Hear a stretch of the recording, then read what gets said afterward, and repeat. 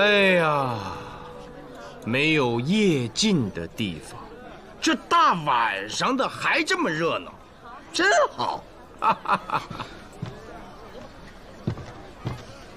好在哪儿啊？啊？虽看上去繁华一时，但由此引出的乱象，甚至各类案件，定会更多。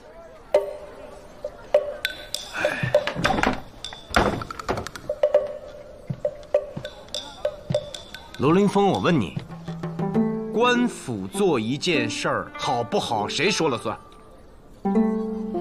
政令应符合朝廷规制，且百姓欢迎。你这是跟谁学的？如此圆滑，你这是两头堵。苏某认为，百姓喜欢是最重要的标准。百姓之好固然重要，但不可以以权谋私。这个叫司马亮的，身为县尉，又是最大的酒商，官商一体，此之谓也。他主持开放夜禁，到底是为百姓，还是为了他的生意？这很难说清吧？你看你，你怎么，你不服？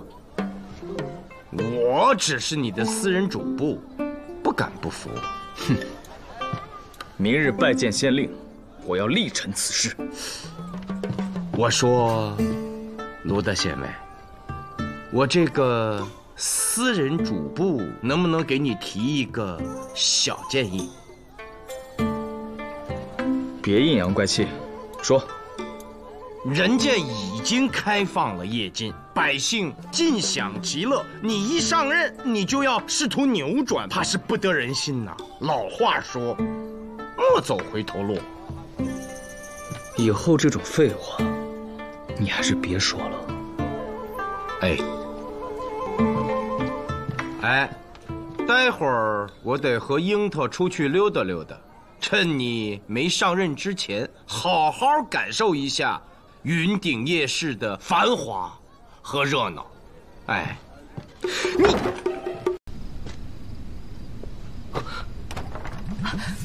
怎么了？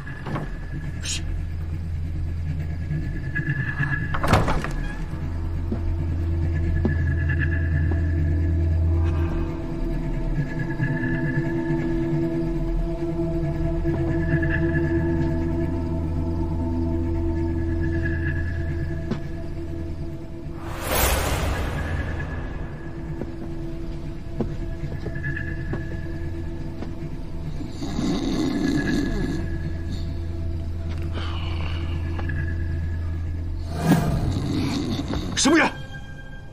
你私闯他人寝室，还敢问我是什么人？让开！别找死！云顶的酒纯美，容易喝多，你这是在说醉话。那个人呢？把他交出来！哦，看来又是长安派来的杀手。说吧，谁雇的你？你才是杀手！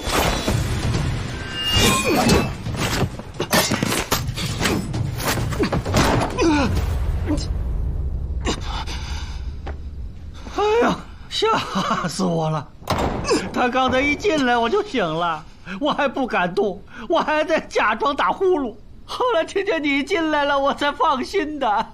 你是说这云顶有贩卖奴隶的组织？对，他们用邪术。把人变哑，再将五官扭曲。你的这种猜测，当着黄甫谭和宋商的面说了，说了。将正常人变为哑奴的这种推测，在那个赵雷身上确实说得通。可是失踪的侍婢师年过七旬了，贼人把他弄去，是让他当奴隶干活，还是供起来啊？我怎么把这个人给忘了？人口失踪，在云顶很普遍。今天我们也遇到了一个。哦，对了，还听说了一个地儿，叫什么？云顶仙街，似乎很神秘。我们说是今晚要去夜市，其实是想去那个云顶仙街一探究竟，为你破案提供一些线索。你怎么不早说？待我吃完，立刻就去。哎，给我留一个呗，我不能饿着肚子陪你去吧？你也没事啊？我怎么给忘了？早知道我也留下吃，我多做点好吃的呀。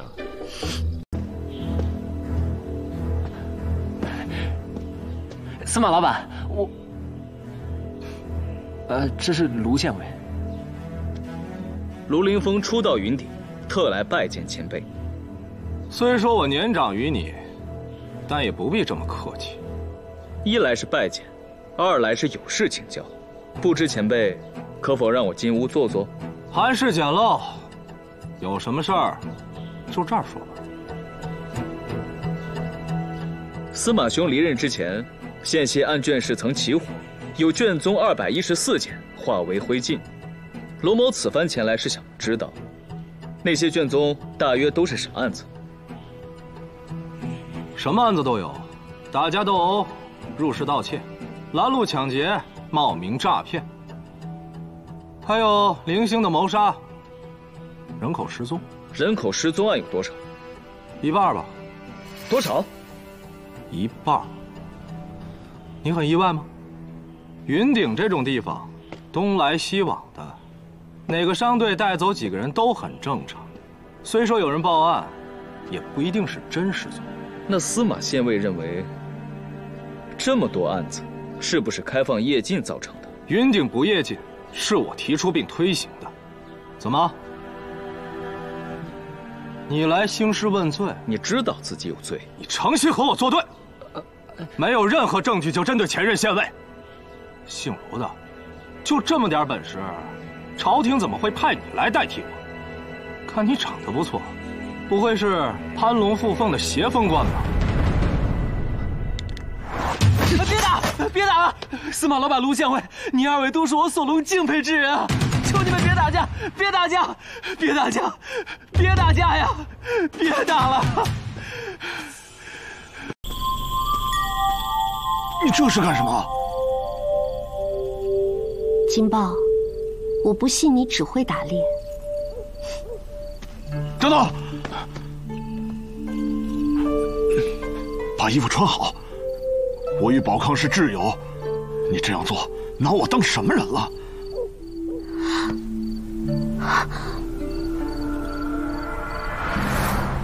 就是这样。我之所以隐瞒，是怕传出去宝康家娘子不好做人。金豹兄，这么听下来，你是真君子。我自小就一身正气，从未变过。清溪到你家连酒碗都没端。是。照你描述，他从进门到被你赶出去，不足一刻。差不多。索隆，哎，交给你了。好嘞。哎呀，知道这是什么吗？狼金啊！这是卢县尉从长安带过来的，专门测谎用的。一会儿把它往火上一烤，往你鼻子下面这么一熏，若是你嘴角抽动，那就是撒谎了。到时候可是要打你板子的。这宝贝珍贵的很，若不是人命关天，我还真不愿意让他用。毕竟点燃一次就要废掉许多。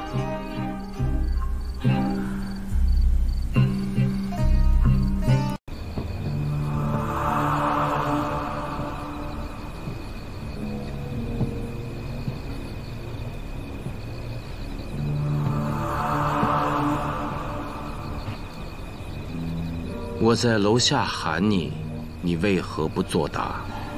有什么好答？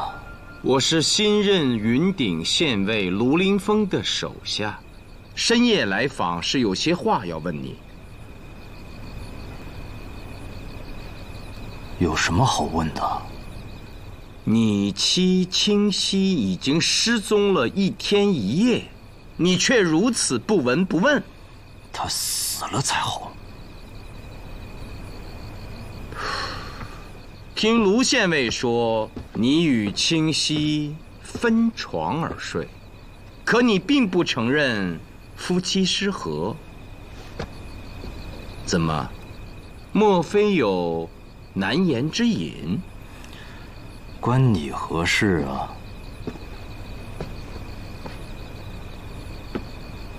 要说你也确实不幸，原来还可以登山采药，如今就只能瘫在床上了。你就说，你们什么时候帮我找到清溪吧？你刚才不是还咒他死呢吗？我说的是气话。哦，那我问你，清溪在失踪之前可有什么异常？没有。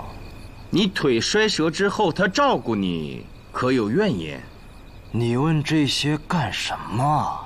失踪分两种，一种是被动失踪，一种是主动失踪。如今案情不明，不能把主动失踪排斥在可能之外。